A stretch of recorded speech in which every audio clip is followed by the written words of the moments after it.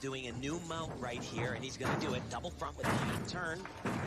Nice mount, a little Very slide nice. backwards, double front with a half turn. This is just a really difficult combination. Two and a half twist to double front. Pretty good, double double. perfection. Good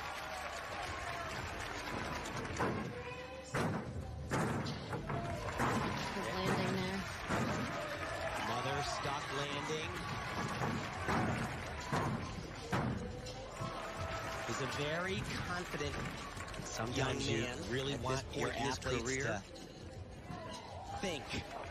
I was at this point, super impressed with him, hope as you were mentioning, goes Terry. He was on the world team in 2019 for the U.S.